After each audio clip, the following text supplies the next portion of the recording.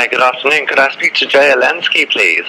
Yeah, it's me. Hi, Jay. It's uh, Hello. It's Jason Curtis phoning from South Africa to do the interview with you. Yeah, how are you? Fine, thanks, and yourself. Yeah, very, very well. This, this is good. This is good. Congratulations, first of all, with Mercy Street. Yeah, thank you very much. It's uh, it's great. Um, if I can, I know obviously you're a busy man, so um, I will uh, keep keep it uh, short and to the point. But um, I have to ask, after reading uh, through your biography, um, why af- why after so much success did you choose to change your musical direction? Was that uh, not risky for you?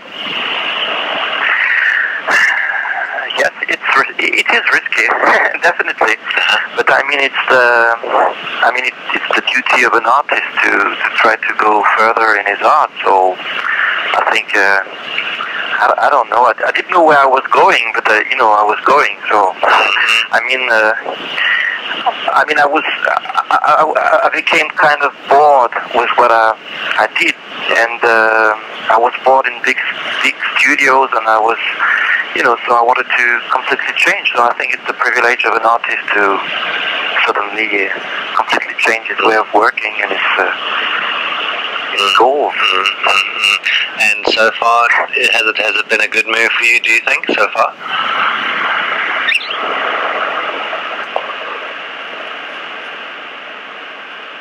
Hello. Hello? Sorry, Joe. Um, Yeah. Hello? Has, has has it been um, has it been good so far to, to be in the situation that you're in now? Uh, what do you mean exactly? Um, since you've I moved. don't I, I don't hear you very well. Okay, I'll I'll speak up for you. Um, Okay, thank you very much. No problem. Um, as I say, now having moved away from big studios and things like that, are you are you happier now? Yeah, I'm happier, definitely. I'm happier. I was happy then, but you know, um, I don't know. It was a different world. It was the world of pop music and rock and roll. It was different. I, I had a lot of success in in this in this area, but you know, I wanted. I, I, I was, as I told you before, I was, you know. I, I wanted to change. So that's it. Mm.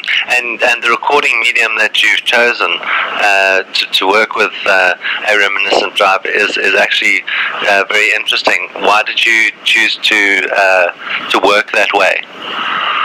At first, it wasn't on purpose. I mean, I just decided to, to quit the big studios, and I wanted to have a place to to to, to make some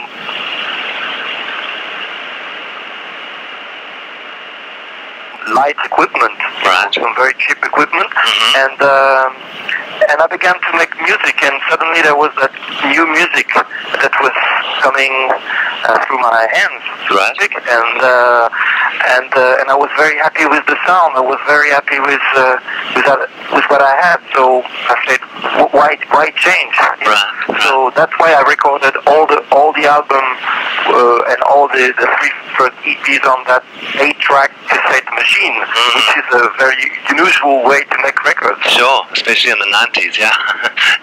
Yeah. Mm-mm. And uh, Mercy Street, you know, when listening to the album, it, it comes across as being more of a, um, well, it comes across as a, as a soundtrack of sorts rather than, say, a traditional album. Uh, would you sort of agree with that analogy? Uh, with the soundtrack of? Um, it comes across um, as if it were um, a soundtrack rather than, say, a traditional, um, a traditional album. If you know what I mean. Yeah, yeah, yeah. I know what you mean. Um, yeah. Yeah, you, you can say that. You can say that. But I mean, yeah, a soundtrack of what? Yeah, yeah, no, soundtrack nothing. of, of life. Yes, yeah, A yeah, of life. yeah, yeah. Yeah, soundtrack. Yeah. A soundtrack of my life. Uh-huh. Some journalist said in France that it was like kind of a diary or something like that. Yes, yes. Maybe it's, maybe it's like this. Right. Yeah. No. Pretty much. I mean, that's to say when when listening to it, it's something that you can have um, either playing in the background or you can actually sit down and absorb, uh, you know, each of the tracks directly. Yeah, Mm. yeah, yeah. Mm, mm, It's true. You can you can listen to the record both ways. mm. And and and if you sort of had to sort of sum up uh, the sound that you've created with uh, a reminiscent drive, uh, where would you say it actually fits in um, as far as the sort of commercial aspect of it is concerned? Um, you mean that? I, I didn't get the question exactly. Okay. Uh, sorry. No, no, it's fine. Um, if, if you have to sort of describe um, the sound of a reminiscent drive, um, how would you best sum it up? That's that's uh, that's the big question. I say a lot of people ask me, well, how, how would you define the, the that music or that Mm, sound? I, I can't answer. I mean, it, it's not my my role to answer to that. But I mean, um, I, I, a lot of people say it's kind of ambient music, but I won't say it's ambient because my past as a songwriter, you know, um, I, I, kind of work in a song format, you know, Right. with uh, three three minutes or four minutes long tracks. Mm. Um, because I, I- don't want people to get bored, you know, so Sure. with uh, eight, Sure. min- eight or, or ten minute tracks as it's usual in ambient records. Yes. So I kind of I of build my my tracks as songs, Mm. and uh, but it would be songs without singers. Yes. But it's not exactly it's not correct because Mm. it's not exactly songs.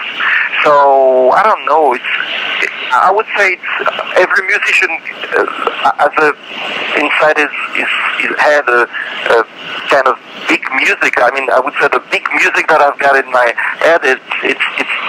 This is a reminiscent drive. Yeah. I mean, it's a mix of a lot of things, from Sure. classical to to pop to jazz to uh, uh, eth- ethnic music or uh, Moroccan or Indian music or so. I don't know. It's uh, Mm, mm.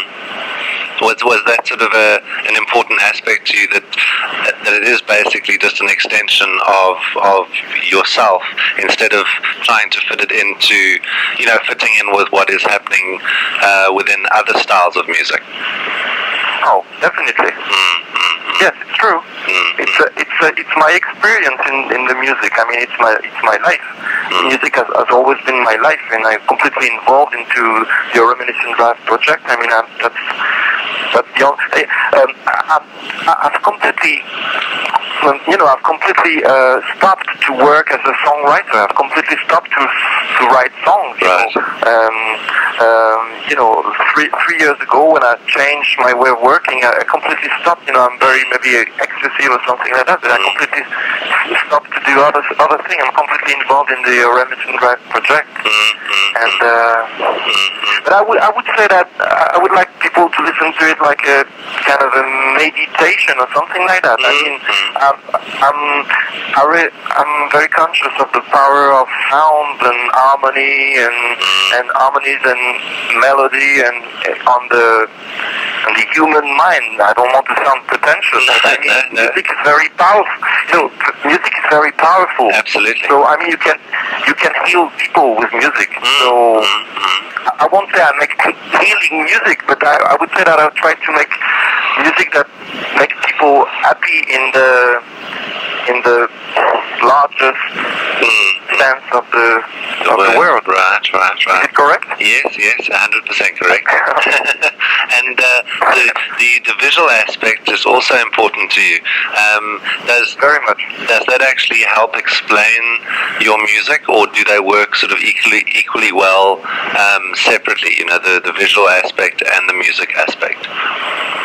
Yeah, what what I did three years ago is that I took a small apartment in, in, in Paris just to work in it, you know, and I, I play my music and I make some pictures and I make my collages. There will be a, a book of collages that will be given with the um, I don't know if you if you know that, but it Yes. will be given with with the records in, Right. in stores in Jan- January. A book of collages, which it's it's kind of it's not exactly an explanation or a prolongation of the music. It's, Mm. it's more uh, parallel to the music, you know. Mm, mm, mm, mm. And I'm very involved in music. And if we, we make concert with the uh, Reminiscent Drive project, I mean, there will be a lot of images behind the musicians, and uh, uh, that's very important. Right. Photography, collages, drawings, and videos, and that's definitely something that I want to So, so be involved in. yeah, so so it is it is almost an extension uh, of the music.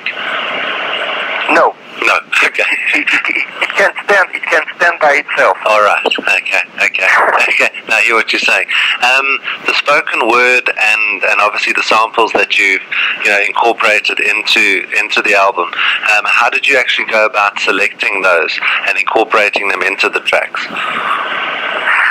Um, it, it means something. I mean, it, it has a every every sample means something in the um, uh, with the you know it, it has a very uh, it's very important. I mean, it means something. If people want to listen to the words of the samples, they can they can listen to the words. I didn't mix them too loud uh, because I didn't want to you know bother people with that. But in another in another hand, it's very important. I mean, for example, there are there is a um, Tibetan uh, Lama, a Tibetan monk, Right. who says something on, on one track which which is called uh, New York City Dharma. Yes. And he says a lot of things about Buddhism and things like that. It's very important for me because I'm very much involved in spirituality and things like that. So it means something. If people don't want to listen to the word, oh, that's okay. You know, they can appreciate the music by by itself. But I mean, if they want to listen, that's very important. That, that, that these are maybe some keys or clues to understand the, Yes. the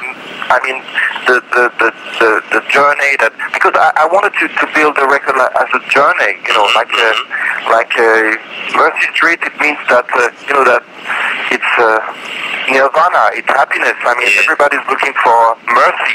Yeah, true. So Mercy Street, it, it means that you know, it means that you we we are we are all on the same journey and we try to be uh, better human beings or something like that, or Right. try to be happy, or we try to to achieve uh, immortality or something like Yeah, that. So yeah, yeah. I mean, uh, so that's what it means. So the samples are here to to to like a comment on on the on the on each tape of the of the of the trip. You know, Mhm, each step of the of the walk. Or Yes. if I'm Well, very, the journey, I don't know yeah. if I'm very No, clear. no, you are. Yeah, it's, it's, it's, it's, it's, it's Okay. almost like a journey, um, you know, Yeah. on an album, sure. But now you you speak of it as being a project. Will there be?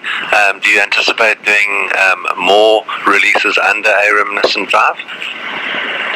Yeah, yeah, of course, Mm-hmm. of course. Okay. There have been three EPs, and this album there will be a lot of singles Great. um, uh, taken from the album. hmm and I, I will continue definitely. Great. And the next one will be, I think the next album will be with vocals on it. Uh-huh, okay, yeah, because you are Oh, uh, you, you are you are a very uh, you- you're an acclaimed vocalist yourself, eh? Uh, yeah, I've, I've I've made I've, I've made I've made a, a lot of solo albums in France. Yeah, it's true that I've been I've had a lot of very good critics or very good uh, very good press. Yes, yes, yes. But uh, uh, I, I don't know if I will sing on the next Reminiscent Drive album. I, I think there will be a lot of guests of female female singers Mm-hmm. who will sing on it. Mm-hmm. And And I want to make this, I don't want to make a, a, a trip hop album. I just want to make like the, the same kind of music that a reminiscent drive with vocals. mm, okay. It will be, Mm-hmm. Because, as I say, the um, you know, in, in putting this album together, you obviously didn't tar- target any any particular audience. Um, yeah, it's true. yeah, you basically put it out there for, which is nice because then basically it, it can be interpreted by anyone who is willing to give it time enough to listen. Yes, because uh, it's true. Because in France, the first reactions of people are very diverse. I mean, there are a lot of different people that appreciate the the album. Mm-hmm. You, you can have a very edgy audience for that, or very, you know, people that listen to pop music, or you know, so that's that's what is interesting. Mm, mm.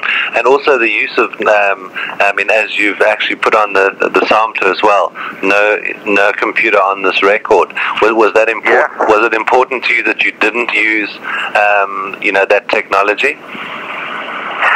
No, it was kind a kind of a joke with the with Eric Morand from F Communication. From F Communication, you know, I, I, when I first met him, I said, I said, you know, I, I didn't use any computer on this record, and I said maybe you could we could we could put on the record no computer on this record, and he said, oh, it could be a good joke, but people didn't believe it. You know, some people just don't believe it. They Really? say, you know, it's it's not true. Yeah, because it's very difficult to now for a lot of people. It's very difficult to make music without computers. That's right. Um, particularly in, in this kind of music. Hmm. Uh, and uh, no, no, it was a joke at first, and after that we we put it on every record because it was, you know. But uh, that's it. and and how does a track actually come together for you? You know, what is the catalyst to a song's uh, a song being created or a track being created? So that that is a big mystery. I, I would say that it's uh, that it comes through my, you know, I, I don't know. Sometimes I, I come to to the apartment in the morning and I just, you know, I, I open the, the the the keyboard and I just start to play. I don't know what, you know, it's very mysterious. It's kind, I would say it's kind of a mystical feeling. I, I mean, it's, I don't know. It's very something comes through my hands, through my body, and it's it music is suddenly. I don't want to sound pretentious, but I mean it's it's inspiration. I would say I'm inspired by something from other, maybe other Another force, yeah. other dimensions Mm. of I don't know. Mm. I very much believe in that. I, I believe the music is, uh, you know, uh, an embrace. Uh, music embraces a lot of uh, dimensions, dimensions. Mm. So I don't know how it, how it comes to me. I mean, it just It just does. yeah, yeah. Mm-mm. That's a, that's still a mystery. I make music since a long time, but that's always the same mystery. You know, I begin to work on a track, Mhm. Three hours or four hours later, I, I- finish the track, or maybe the day after, and I, I'm, I'm in a very special state. You know, I'm in a Mhm. like in a trance or something yeah, like that. yeah, yeah, yeah. And I, I don't know exactly what happens, but it's kind of magical, kind of mystical. It's a, it's something very much like this. Mm-hmm, mm-hmm, mm-hmm. And I feel it like this. Yes, yes, yes, yes. And of of all the sort of musical exploits that you've had in your career, um, is this where you are are happiest now, doing this kind of work and doing a reminiscent drive?